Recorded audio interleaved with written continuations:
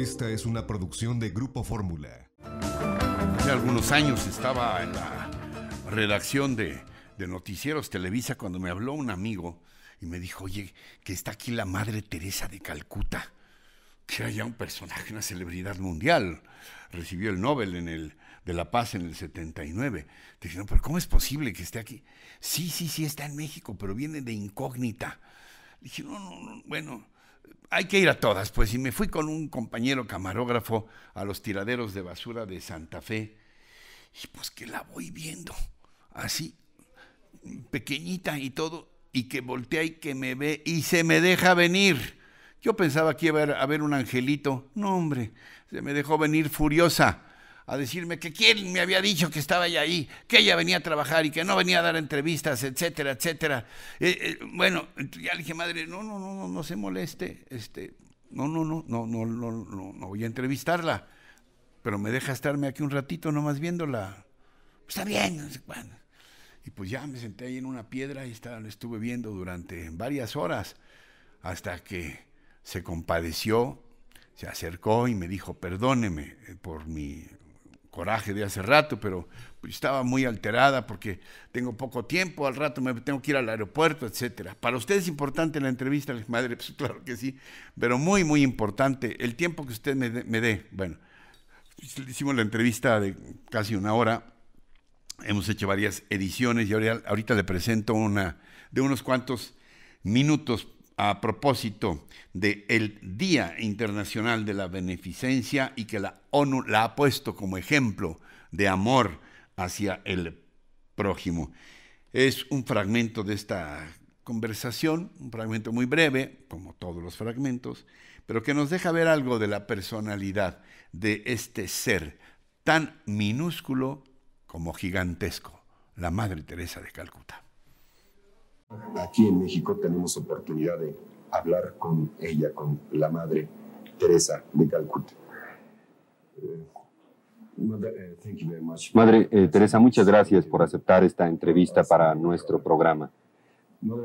Madre, hace dos años en todo el mundo conocimos de su trabajo, pero su labor realmente no era muy conocida hasta entonces, por lo menos para nosotros. Eh, por favor, háblenos de sus inicios, de los inicios de su tarea. Todo el mundo la conoce eh, a usted porque recibió el Premio Nobel de la Paz. Eh, fue entonces cuando se, divulgó su trabajo en el mundo entero.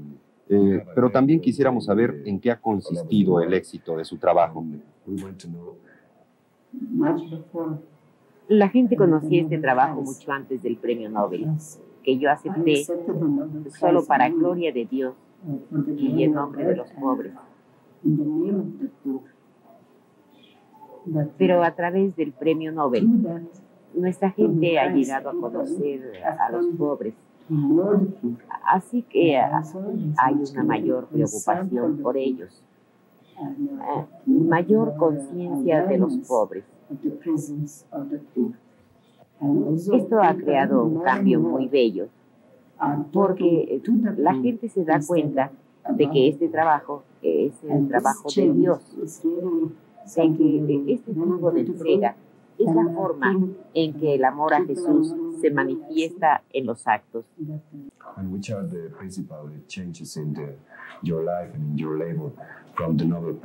¿Y cuáles han sido los principales cambios en su vida y en su trabajo a partir de que le fue otorgado el premio Nobel? ¿Ha recibido usted más ayuda? No, no especialmente. Para mí no ha cambiado nada, pero sí es verdad que en general la gente está más consciente de la presencia de los pobres. Los conoce mejor y todos quieren hacer algo.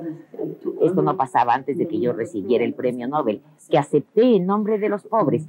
Si no, no lo hubiera hecho.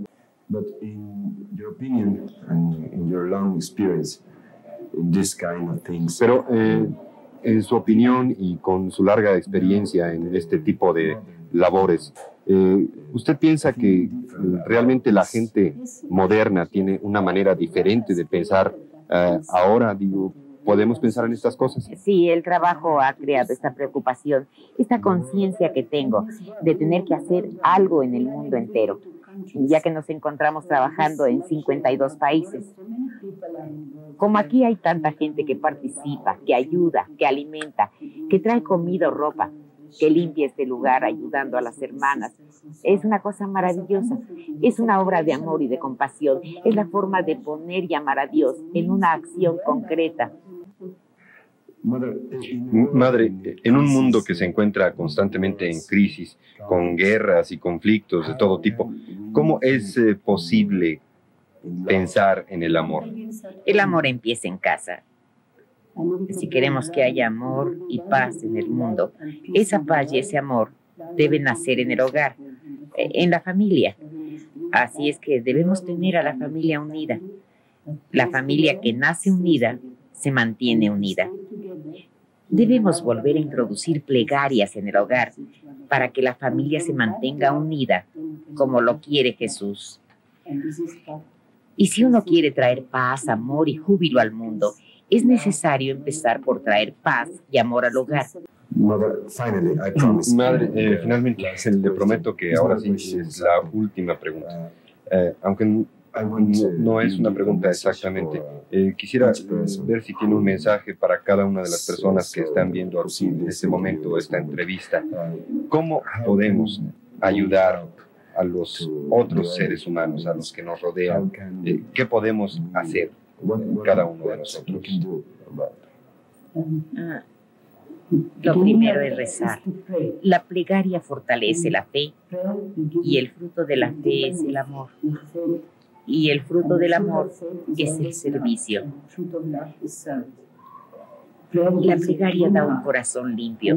Y si usted tiene un corazón limpio, y si usted puede ver a Dios, naturalmente querrá compartir el gozo de amar al compartir lo que tiene. Los ricos no son ricos porque tienen propiedades y dinero, sino porque retienen. Pero cuanto menos retengamos, más podemos dar a los demás. Y por eso tenemos que enseñar a la gente a compartir el gozo de amar como Cristo compartió su vida y la sigue compartiendo en la Eucaristía. A través de ella se experimenta el gozo de ser amado por Dios mismo. Y por ese mismo amor, debemos amarnos mutuamente, tal como Él nos ama a nosotros. Que Dios lo bendiga. Una experiencia periodística, pero sobre todo una experiencia de vida. Créame, yo me sigo estremeciendo cada vez que veo eh, estas imágenes de este ser humano extraordinario y cada vez que escucho estos conceptos a profundidad. Encuentra más contenido como este en radioformula.mx.